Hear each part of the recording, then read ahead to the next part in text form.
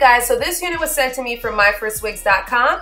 This is the Kay Malaysian Human Hair Short Curly Full Lace Wig. This is a natural hair color. It's 16 inches long. The texture on this one is a silky texture. There is 6 inches of parting space and this is a glueless wig cap.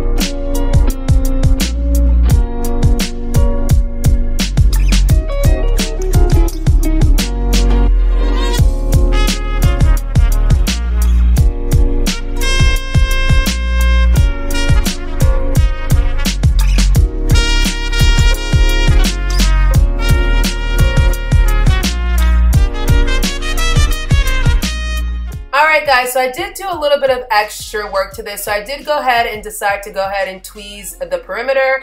This unit is pre-plucked um, and everything, but I wanted to be a little bit extra just to open the sides up. Uh, this side I'm actually going to tuck behind my ear, so I really want to open it up to put some definition through. Uh, but once I adhere this unit down, it's not movable so I can actually just keep tweezing tweezing. Usually I like to tweeze off of my head and on the mannequin head but because this unit is really secure I don't have to do that step. Now what I'm going to do now is just wet the hair with water um, just to kind of get it nice and saturated. I am going to go in with some product and I'll tell you guys what the product is later into this video. Um, one more thing that I decided to do was use a kind of defining brush. Now with the defining brush I brushed the product through the hair guys. The definition was ridiculous ridiculous. Now, like I always say to you guys, when you're to go ahead and put product in curly hair textures or whatever, always make sure you let it air dry and not and try your hardest not to touch it. I got the best results um, that way, and obviously you guys will see in, towards the end of this video how the hair looks defined, and I did not put my hands in it at all. It's just absolutely gorgeous, guys, and I just thought adding this step in will help you guys style your hair, your curly hairs for this summertime.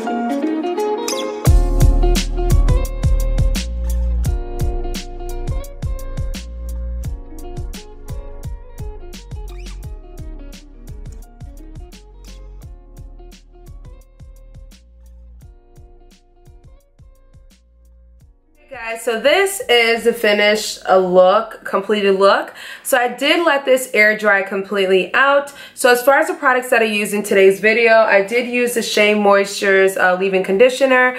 I also did use some spritz just to extra hold on this unit.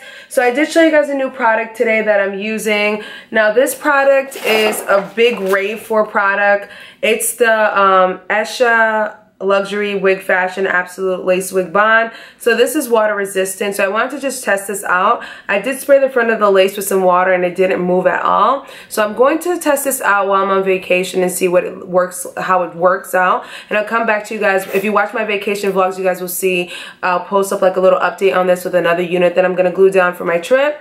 Now I did get the um, lace bond remover as well. So it's an easy thing. So all you do is apply this and when you're ready to take it off you just spray this around the perimeter. So I'll do an in-depth review on this guys but I wanted to test it out today just for the first time. It's definitely very very secure. You guys can see that it's super secure like it's not coming off my head. So uh, I do think that it, that's a good quality but the real test is once I dunk my head in the water let's see if it's gonna stay on my head. So that's what I really want to test out. So basically with this wig guys I just tweezed around the perimeter just to kind of bring it to life.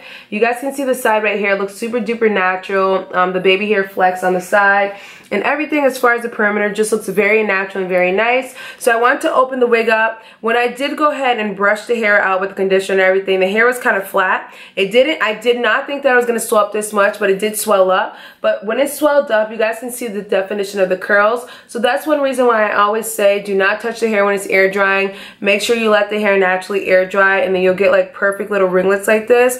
This hair is definitely very pretty guys. Um it's definitely like a vacation wig, summertime wig, and yeah. So I do want to say happy anniversary to my first wigs. Um, I've been working with this company for a while now. I do have three units, um, my personal units with them. So I'll link those units down below for you guys if you guys are interested in purchasing my personal collection with myfirstwigs.com. So guys, I'll leave all the information down below if you're interested in purchasing this unit from this company, guys. Do not forget, guys, to thumbs up this video. Leave your comments down below. Subscribe and share this video with your friends and family people. And I will catch you guys in a later one. Bye.